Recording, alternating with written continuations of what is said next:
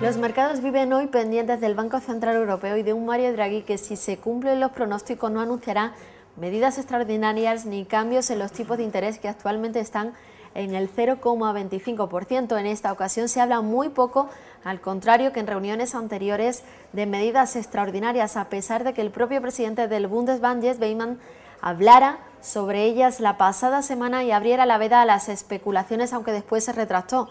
Según el consenso de Reuters, los economistas no esperan cambios en los tipos de interés. Entre ellos, entre estos expertos se encuentran los de Citi, que señalan que el BCE se va a centrar en las señales de recuperación de la actividad económica y reiterará, reiterará sus previsiones que contemplan tipos bajos durante un periodo prolongado. Sin embargo, sí esperan que Draghi suene más pesimista de lo que sonó en marzo.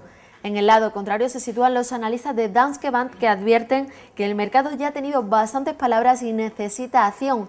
La firma ve un incremento en las posibilidades a favor de que el BCE actúe con alguna medida de alivio esta semana. En todo caso, lo cierto es que los expertos sí que esperan que el mensaje de Draghi suene más duro y más pesimista.